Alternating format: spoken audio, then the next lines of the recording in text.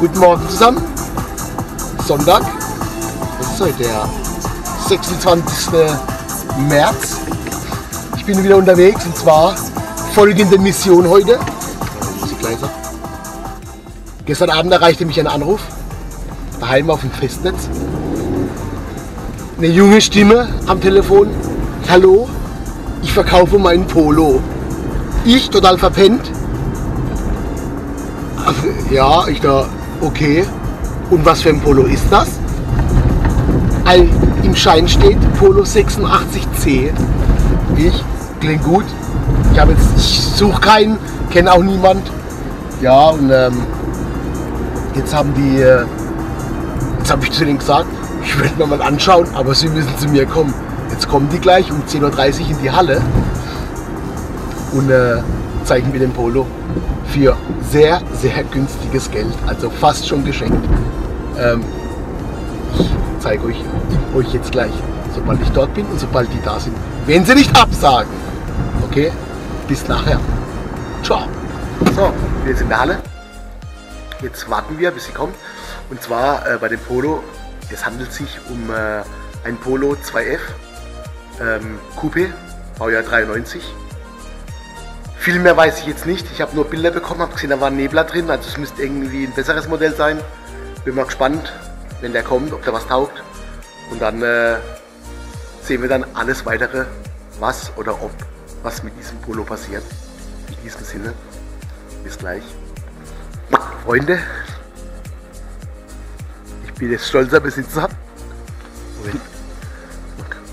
diesen Polos soeben mal kurz gekauft für Schlappe. Ich darf es gar nicht sagen, wenn ich weiterverkaufen möchte, aber ich glaube, ich behalte den für 100 Euro, oder? Guckt mal an.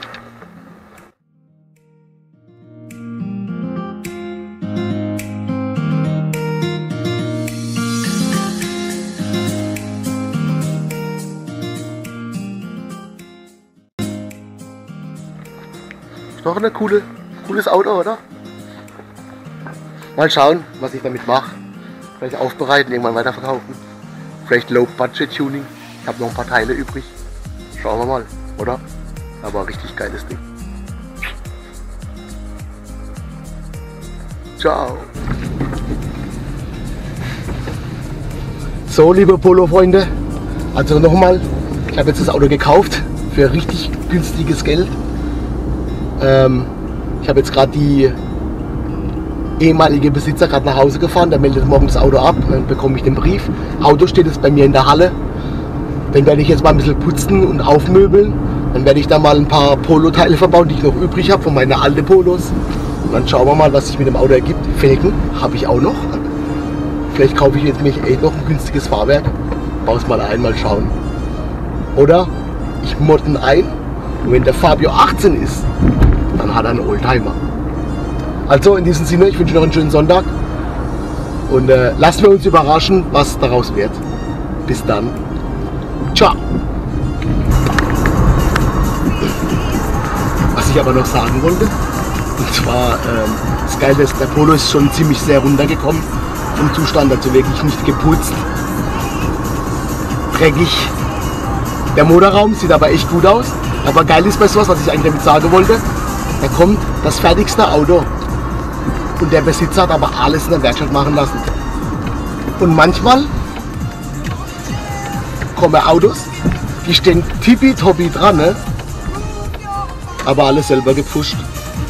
Ne? Ihr wisst, was ich meine. Naja, jetzt schauen wir mal. Auf jeden Fall bin selber gespannt, was draus wird. So, ich bin jetzt zu Hause angekommen, eingepackt. Ciao, macht's gut.